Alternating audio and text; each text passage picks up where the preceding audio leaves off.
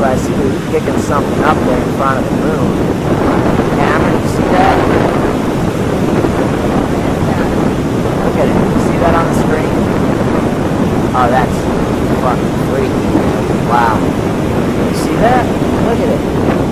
Right there, going across the moon, across the light. Good. Looks like a UFO to me. Wow.